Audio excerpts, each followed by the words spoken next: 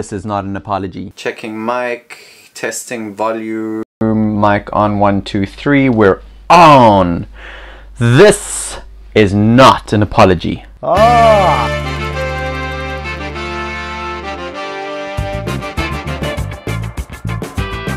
Dean here from Travelvids. I just want to say one thing. Creatives that have channels going on YouTube far too often apologize for stopping their creative flow. Yes, you should be sorry, but sometimes we can't help it. Sometimes life gets in the way. Sometimes we get busy. Of course, life gets in the way. That's why it's called life. But sometimes with good reason.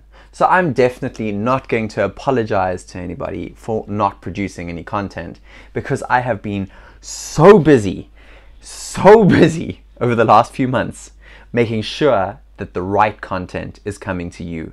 And that is very, very important. You gotta know exactly what you wanna film. Darren Barker and myself started Travelvids just over two years ago.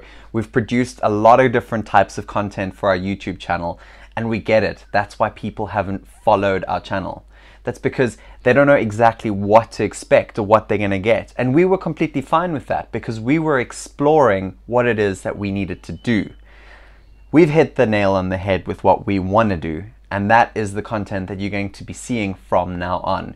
So get familiar with this space for a little while because this is my little zone, my zen zone of talking to my camera, using my camera as the tool to get through a message to you people and that is a series that's coming out starting right now. The first episode's out on how to film a, a uh, sunrise with um, your smartphone. That's exactly what this series is all about how to film things with your smartphone, how to make it easy. But, Dean, how do I film a foodie video? But, Dean, I don't know how to get that other shot in.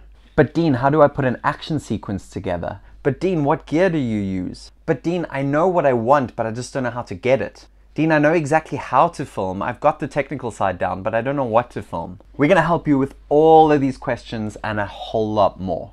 Stay tuned to our series of how to make smartphone video easier for you. This will cover not only the technical aspects, hints, tips, but also help you understanding exactly what you want to film or how you should be filming it. Sometimes all you need is that first step to kick you into the first room and you'll find the rest of the way yourself. But we'll be there to hold your hand all the way. Subscribe, let us know what you want to learn, what you want to see. We're going to focus on keeping the content flowing from now on because we now know what we want to produce. Hope you enjoy our journey. Guys, have a good 2018. Here we go. I ain't sorry.